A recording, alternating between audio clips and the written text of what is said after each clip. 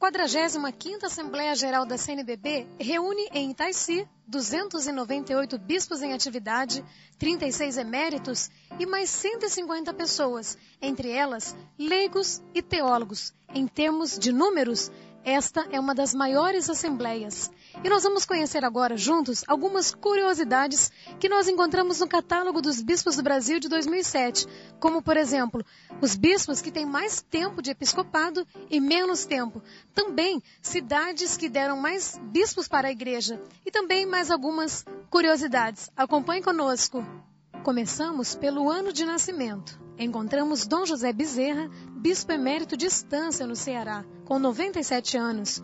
Ele nasceu em 7 de fevereiro de 1910.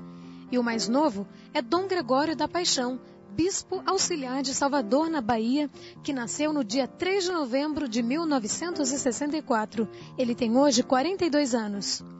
Por tempo de ordenação episcopal, quem tem mais anos de estrada é o arcebispo emérito de Belo Horizonte, Dom João Rezende.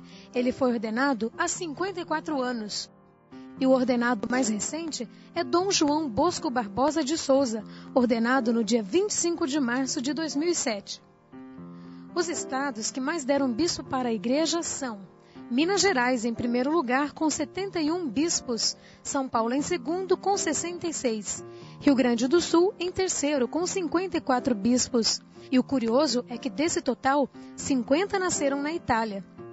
O ano em que mais bispos foram ordenados foi o de 1998, onde aconteceram 27 ordenações. A congregação religiosa que tem o maior número de bispos ordenados é a Salesiana, com um total de 27 ordenações. E por fim, vamos mostrar quem foi ordenado com menos e mais idade. O cardeal Eugênio Sales do Rio de Janeiro foi ordenado aos 34 anos e Dom Giovanni Zerbini aos 68 anos de idade. Web TV Canção Nova, tecnologia a serviço da evangelização.